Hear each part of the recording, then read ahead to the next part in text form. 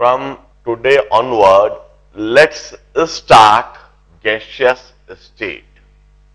11th standard का physical chemistry का पहला चैप्टर है यह gaseous state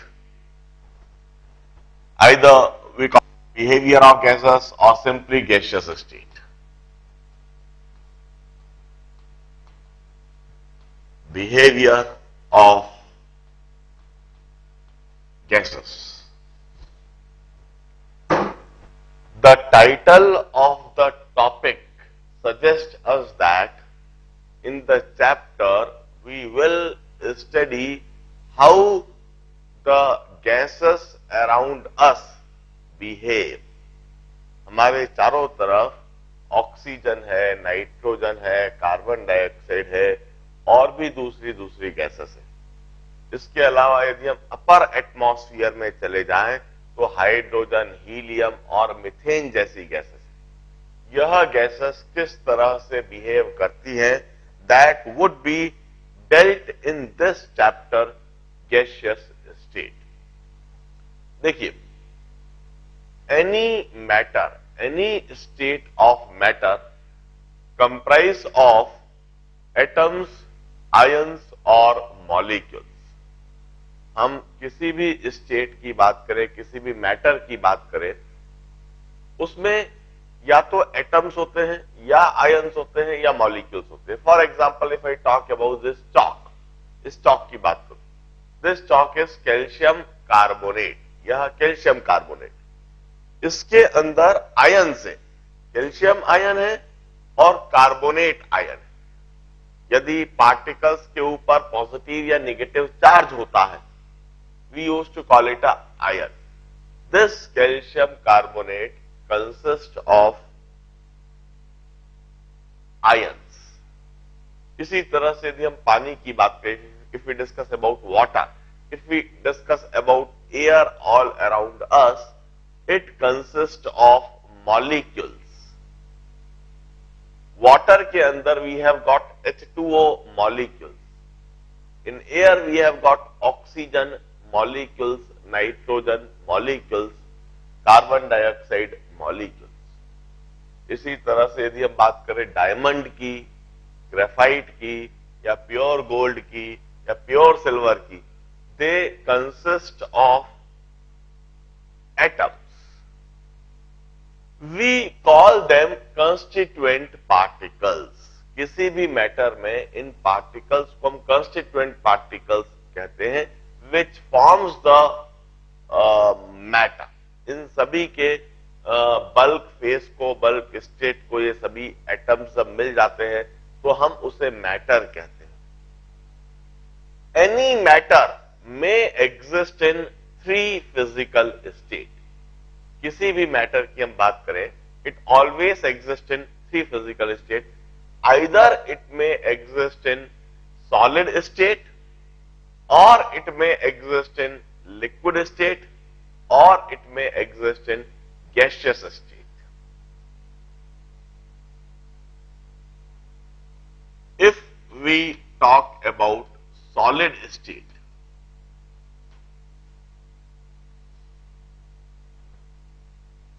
the necessary and sufficient condition of solid state, liquid state and gaseous state. Means when do we have solid state, when do we have liquid state or when do we have gaseous state? Under what condition a matter would exist in solid state?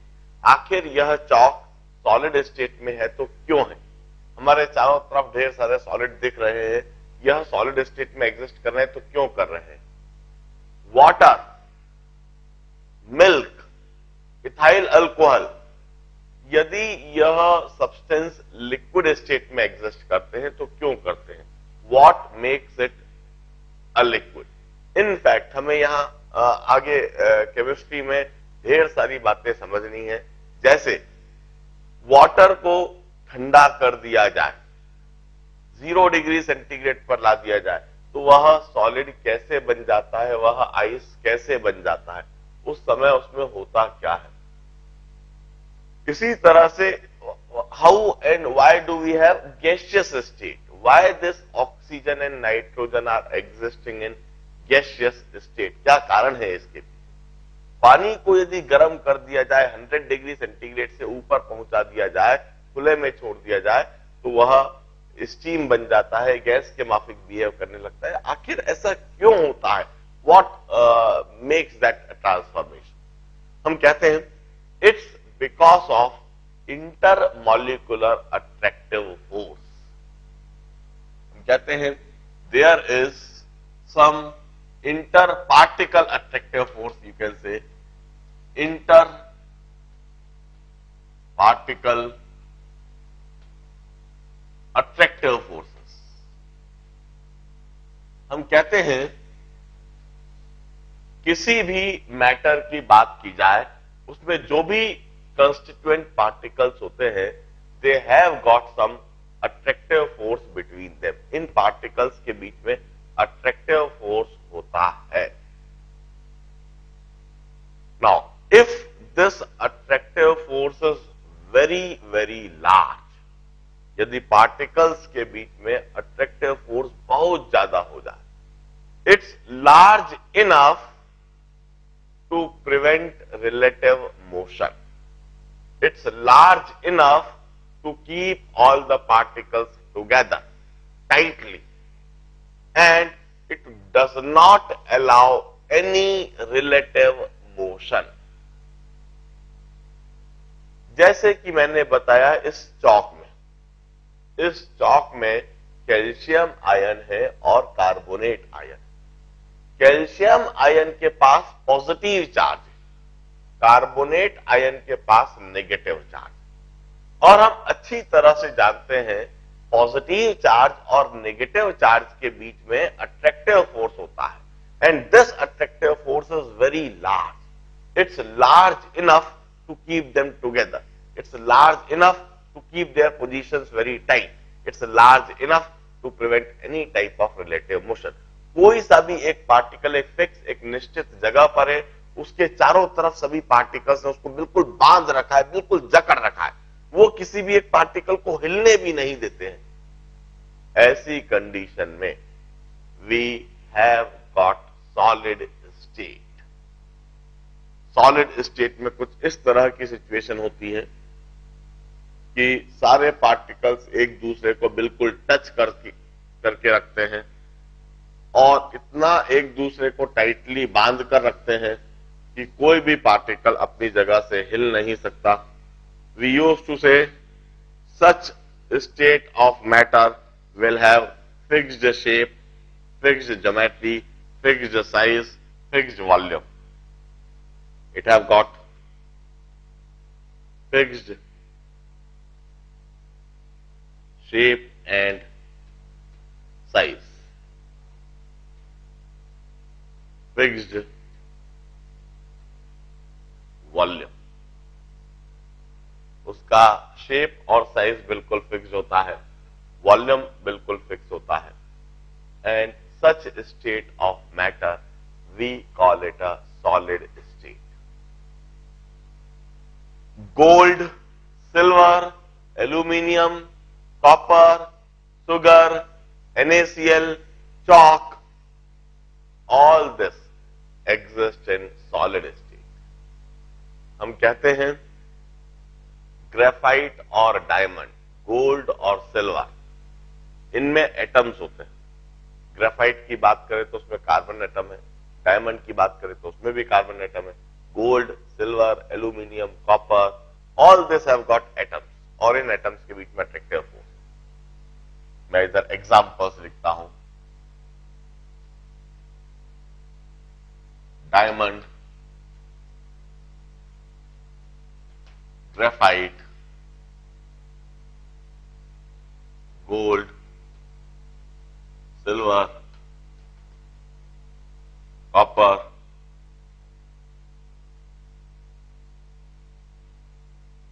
aluminium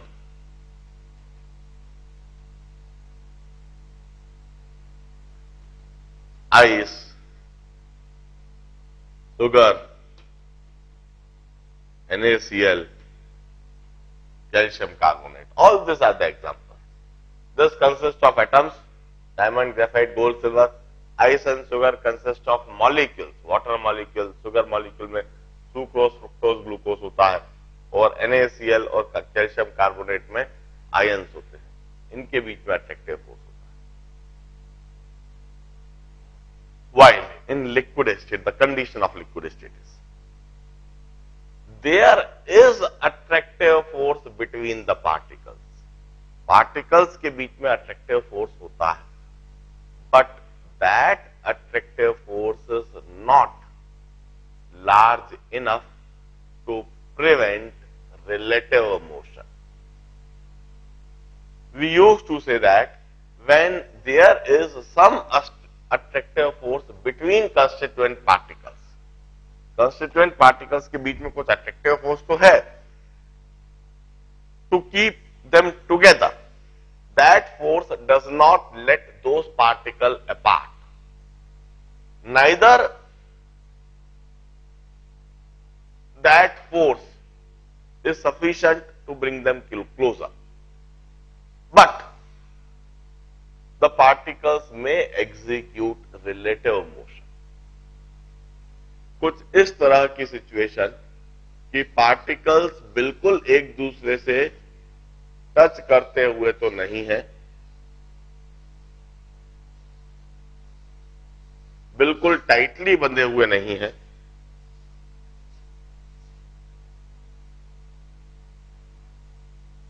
मगर यह force इतनी है कि यह particles एक दूसरे से दूर नहीं जा सकते,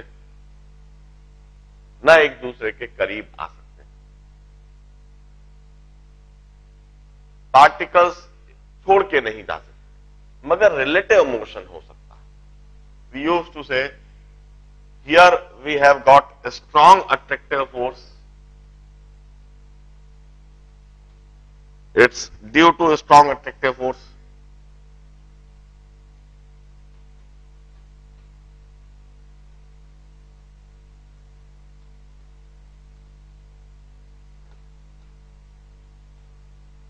While here we used to say we have got substantial attractive force which keeps the volume of matter fixed. But there is no fixed shape, size or geometry. Since relative motion is possible क्योंकि वहाँ पर relative motion हो सकता है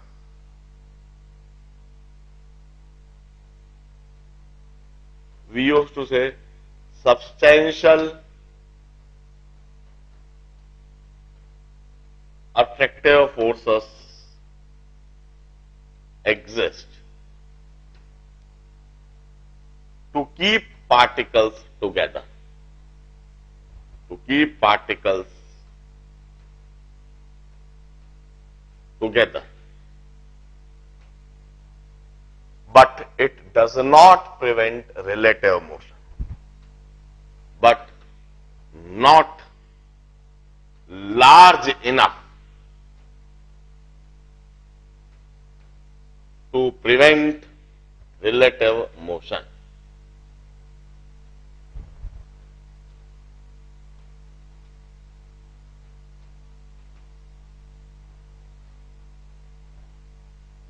we used to say, in this case we have liquid state, here we will have fixed volume.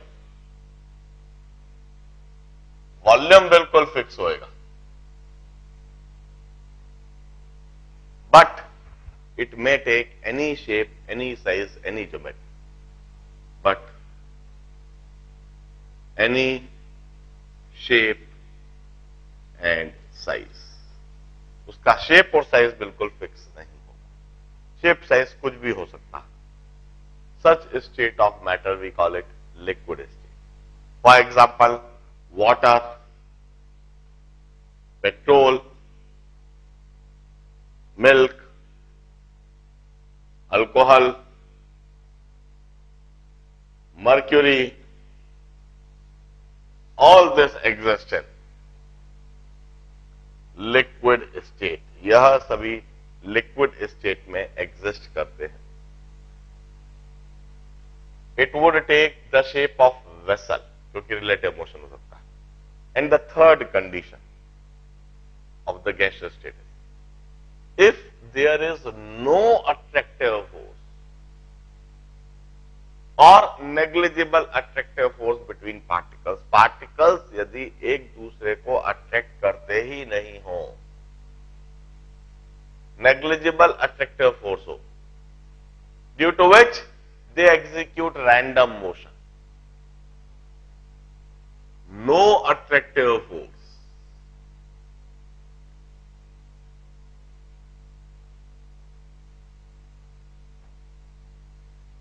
if there is no attractive force.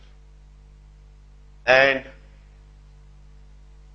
hence, random motion इस वजह से जो पार्टिकल्स हैं, वह पूरी तरह से रैंडम मोशन कर रहे हैं।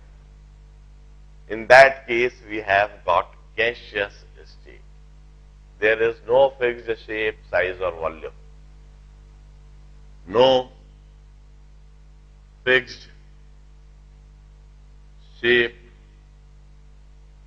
size or volume. Particles एक दूसरे से दूर भी जा सकते हैं एक दूसरे के करीब भी आ सकते हैं और रैंडम मोशन कर रहे होते हैं। The example is oxygen nitrogen carbon dioxide methane ED helium hydrogen all this are the gaseous state अब this are the three states of matter हम सॉलिड स्टेट के बारे में बड़ा डिटेल में पढ़ते हैं ट्वेल्थ स्टैंडर्ड में, और लिक्विड स्टेट के बारे में भी हम बड़ा डिटेल में पढ़ते हैं ट्वेल्थ स्टैंडर्ड में। यह दोनों ही state of matter solid state भी हमारे ट्वेल्थ स्टैंडर्ड के सिलेबस में है लिक्विड स्टेट भी हमारे ट्वेल्थ स्टैंडर्ड के सिलेबस में है।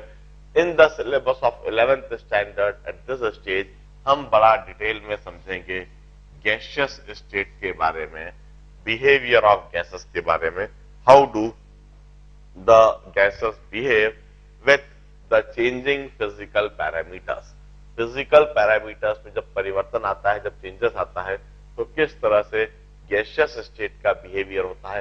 That would be studied in so let start behaviour of gases देखिए behavior of gases was studied and analyzed by various scientists.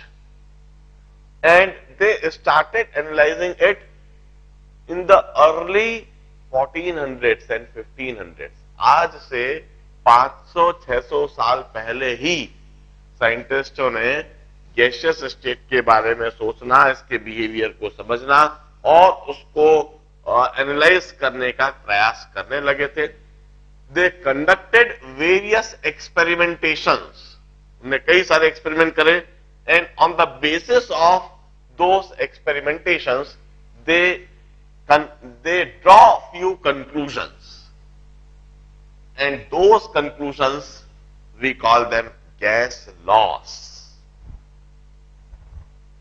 आज से 500-600 साल पहले there were few scientists जिन्हें गैसेस को लेकर एक्सपेरिमेंट करें। तरह तरह के एक्सपेरिमेंट करें और उन एक्सपेरिमेंट से गैस के बिहेवियर को समझने की कोशिश करें। और जो भी कुछ उन्हें समझा, उन्हें उसे लॉ के फॉर्म में स्टेट कर। ध्यान रहे, उस समय जब यह लॉ दिए गए थे the basis was totally the experimentation पूरी तरह से जो बेसिस था, वह एक्सपेरिमेंटेशन था। There was no part of mathematics और theory into it later on when physics developed when science developed तो इन सभी लॉ को मैथमेटिकली और थियोटिकली प्रूव कर दिया गया। अभी हम सबसे पहले उन एक्सपेरिमेंट्स को देखते हैं, जिन एक्सपेरिमेंट को करके लॉ दिए गए। Will study gas laws.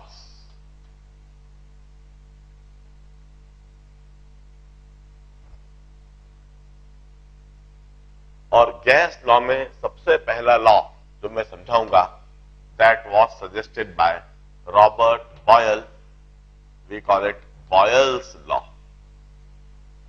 it was suggested by Robert Boyle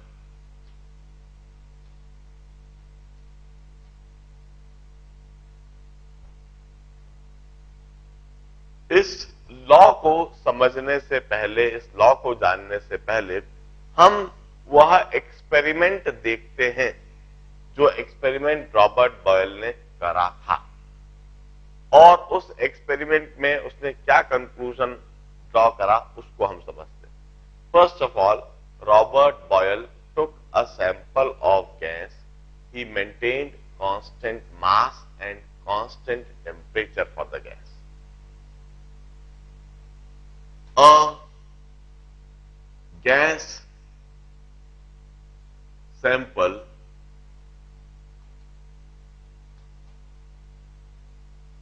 maintained at constant mass and temperature.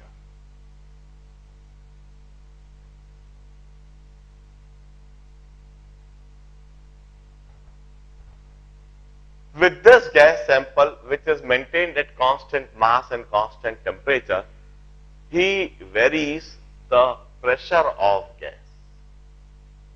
उस गैस का उसने प्रेशर वेरी करा and he studied how the volume of gas is varying with pressure अब सबसे पहला जो challenge है that is how he might have maintained constant mass and constant temperature. By what method Robert Boyle ने gas का constant mass और constant temperature maintain करा होगा? कांस्टेंट मास मेंटेन करना बड़ा आसान है। हम एक क्लोज्ड वेसल ले। उस क्लोज्ड वेसल में से कोई गैस बाहर नहीं जा सकती और बाहर से कोई गैस अंदर नहीं आ सकती। इस तरीके से उसका मास हमेशा कांस्टेंट रहेगा।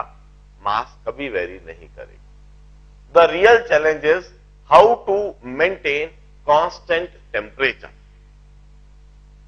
इसके लिए रॉबर्ट बॉयल ने जो कंसेप्ट इस्तेमाल करा that is whenever water freezes whenever water gets converted into ice during that conversion phenomena it's temperature always remain constant at zero degree centigrade इसी तरह से whenever water boils during that boiling phenomena the mass of water always remain constant at 100 degree centigrade मैं दोबारा समझाता हूँ मेरी इस बात को। जब भी वाटर आइस में कन्वर्ट हो रहा होता है तो जब वो कन्वर्जन प्रोसेस चल रहा होता है, जब हम पानी को फ्रीजर में रख देते हैं, और फ्रीजर में रख के हम उसको आइस में कन्वर्ट करते हैं। रखने के कुछ समय के बाद, आधे पौन घंटे के बाद, उसका पहले, जैसे हमने 25 डिग्री सेंटीग्रेड पर पानी को फ्रीजर में रख दिया।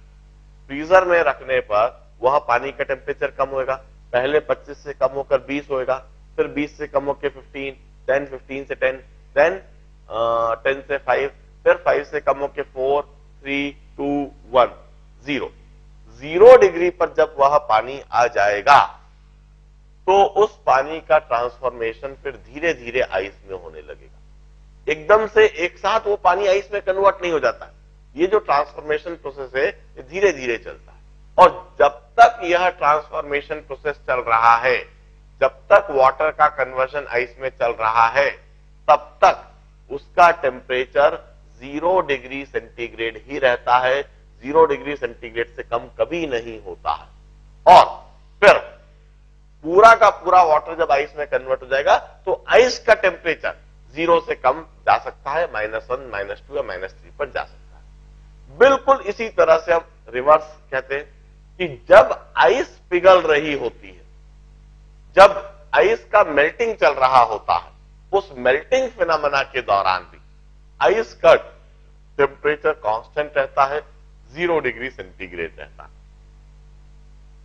यदि हम गैस को पिघलते हुए आइस में रख दें तो उसका temperature constant zero degree centigrade maintain करा जा सकता है। इसी तरह से जब वाटर बॉईल हो रहा होता है तो बॉइलिंग के दौरान वाटर का टेम्परेचर कांस्टेंट 100 डिग्री सेंटीग्रेड है। अब उसने क्या करा? सेटअप को बड़े ध्यान से देखेंगे।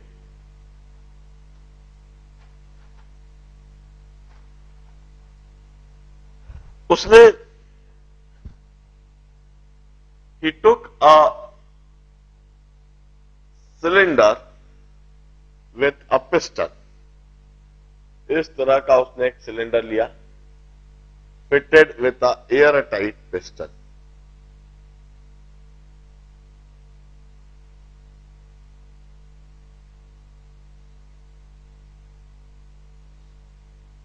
cylinder fitted with a air tight piston ले लेने से अब ना तो कोई गैस बाहर से अंदर जा सकेगी और ना ही कोई गैस अंदर से बाहर जा सके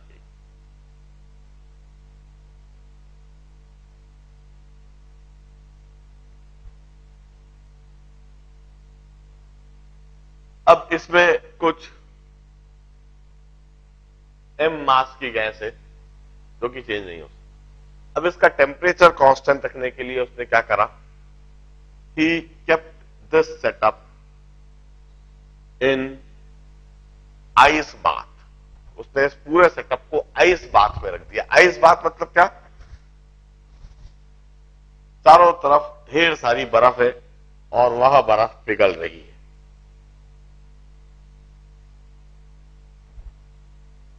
दिस इज़ अ वेसल और इस वेसल में चारों तरफ़ ढेर सारी पिघलती हुई बर्फ़ रखी हुई है। This is ice cubes all this are ice cubes.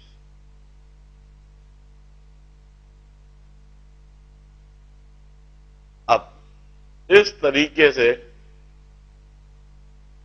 चारों तरफ़ जब ज़ीरो डिग्री सेंटीग्रेड है तो ऑटोमेटिकली यह जो वेसल है या जो सिलेंडर है, इसका टेम्परेचर भी ज़ीरो डिग्री सेंटीग्रेड हो जाएगा और इसके अंदर भरी हुई गैस का टेम्परेचर भी ज़ीरो डिग्री सेंटीग्रेड हो जाएगा। This is an ice bath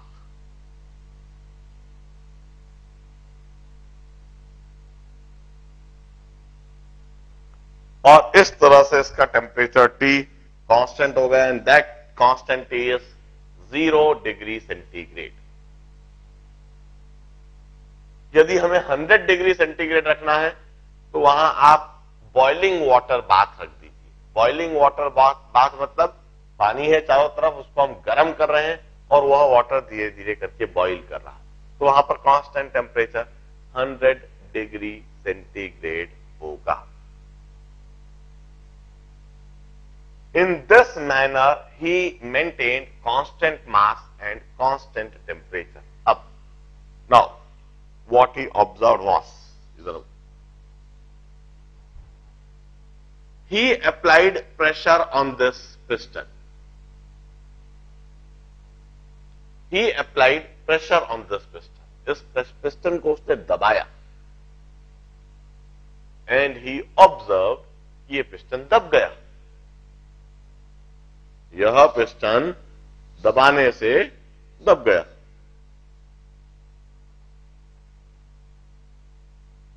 piston का दब जाना means the volume of gas decrease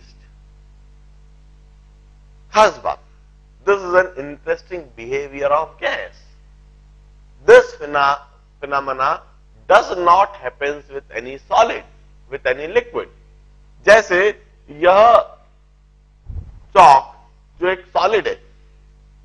मैं इसे दबा रहा हूँ। I'm applying pressure over it दोनों तरफ़ से, ऊपर नीचे से। मगर यह चौक दब नहीं रहा है। ये छोटा नहीं हो रहा है। इसका वॉल्यूम कम नहीं हो रहा है। मैं चाहूँ तो इधर से दबा लू इसको। मैं इस चौक को कहीं से भी, कैसे भी दबाने का प्रयास करूँ। I may apply any amount of pressure but there is no effect on its volume इसी तरह से लिक्विड की बात करें। You take a sample of liquid आप पानी ले लीजिए, उसे इस तरह से क्लोज वेसल में रख दीजिए और फिर उसको दबाने का प्रयास कीजिए। पानी का पाउच लीजिए, पानी का पाउच और उस पानी के पाउच को कभी इधर से दबाइए, कभी इधर से दबाइए। आप पानी के पाउच को इधर से दबाएँगे, इधर फूल जाएगा, इधर दबाएँगे, इधर फूल जाएगा। उसका वॉल्यूम कम नहीं होएगा। आपने कुछ ज़्यादा हर तरफ़ से दबा दी तो फट जाएगा। मगर वो वॉल्यूम कम नहीं होगा। सॉलिड या लिक्विड पर आप चाहे जितना प्रेशर लगा लीजिए, उनके वॉल्यूम पर कोई फ़र्क नहीं पड़ता। But observe the difference with the gases. Gases behave in different manner. Gases के ऊपर जब प्रेशर लगाया जाए तो उसका वॉल्यूम कम हो जाता है। मगर ये सिर्फ़ तभी होता है जब मास और टेम्परेचर कांस्टेंट बॉयर्स ने जब इस बात को देखा एक्सपेरिमेंटली इस बात को ऑब्ज़र्व करा तो इस बात को ऑब्ज़र्व करके उसने एक लॉ दे दिया। बिल्कुल साधारण सा लॉ है, यदि मास और टेम्परेचर कांस्टेंट रहेगा तो गैस को दबाने पर गैस दब जाएगी। Means if we maintain constant mass and temperature of a gas, volume is inversely proportional to pressure. At constant mass and temperature, at constant mass and temperature,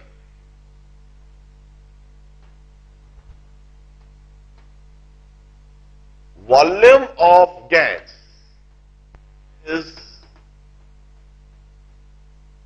inversely proportional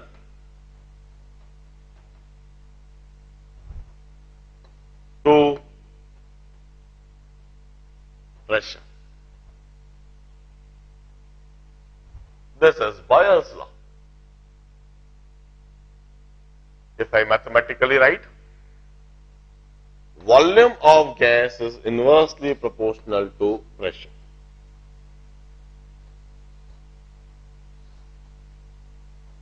at constant mass and temperature. This is Boyle's proportionality sign हटाता हूँ। Equality sign और साथ में एक constant hence P to V is equal to K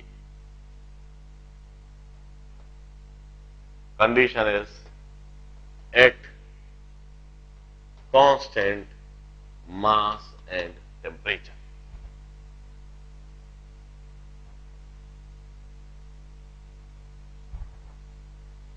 इसका मतलब जैसे जैसे गैस के ऊपर प्रेशर बढ़ाया जाएगा, वैसे वैसे उस गैस का वॉल्यूम कम होता जाएगा। जितना अधिक आप प्रेशर बढ़ा रहे हो, उसका वॉल्यूम उतना ही कम होगा। और जैसे जैसे आप प्रेशर को कम करोगे, गैस का वॉल्यूम बढ़ता चला जाएगा। नाउ इस सिचुएशन के लिए if I plot a graph मैं अलग अलग ग्राफ बनाता हूँ। If I plot for reciprocal of pressure versus volume reciprocal of pressure versus volume observe this equation we is equal to some constant into reciprocal of pressure. इसी equation को दोबारा लिखा है volume is equal to constant K K is any constant It may take any value into 1 by p. So volume is directly proportional to 1 by p means it's a straight line like this.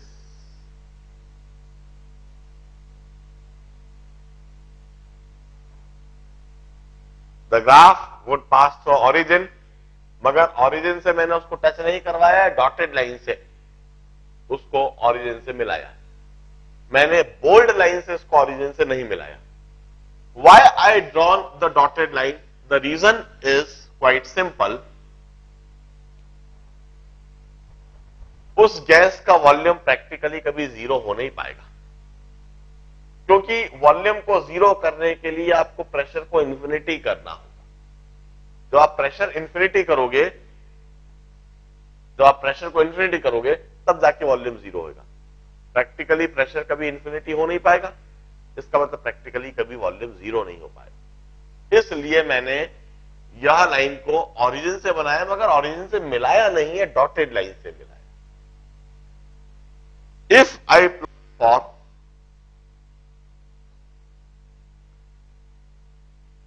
for reciprocal of volume versus pressure